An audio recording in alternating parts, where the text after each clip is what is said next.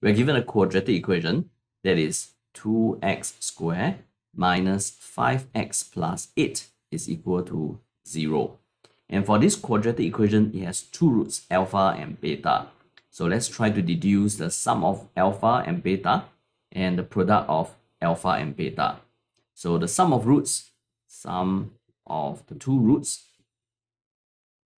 alpha and beta, so it is going to be alpha plus beta, can be deduced by working on the coefficients of the quadratic equation, and that will be minus of minus 5 over 2. This is equal to 5 over 2. And we can also work on the product of the two roots.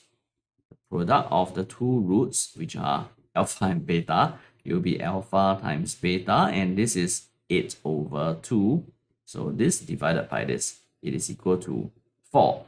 And we're going to make use of the values for alpha plus beta and alpha times beta to deduce for us the new quadratic equation. For this new quadratic equation, new quadratic equation, for this new quadratic equation, it has another set of roots. They are related to alpha and beta, but one of them is alpha over beta. The other one is going to be beta over alpha. So if I were to now work on the sum of the new roots of the new quadratic equation, it is going to be alpha over beta plus beta over alpha. These are the two new roots. So if I were to combine this into one single fraction, it is going to be alpha over alpha, beta over beta, so this will become alpha square over alpha beta, and this will become beta square over alpha beta, creating the same denominator helps us to combine this together to become alpha plus alpha square plus beta square divided by alpha beta.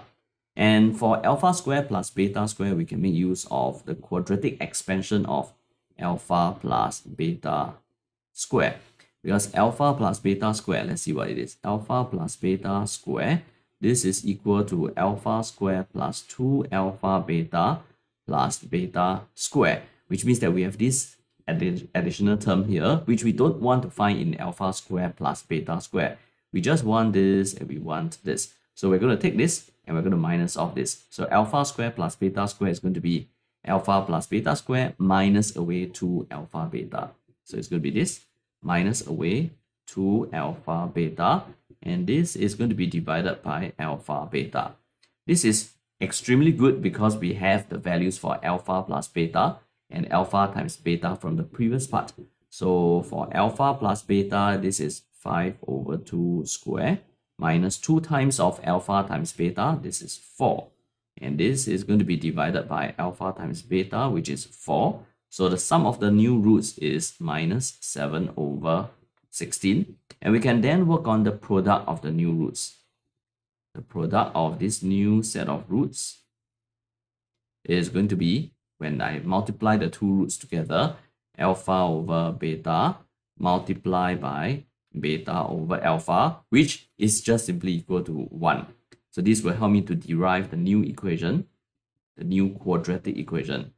So for this new quadratic equation, it is going to look like x squared minus away the sum of its root. So minus this x plus the product of roots. This is equal to 0. We can multiply by 16 throughout this equation, which will give us a 16x squared plus 7x plus 16. This is equal to 0.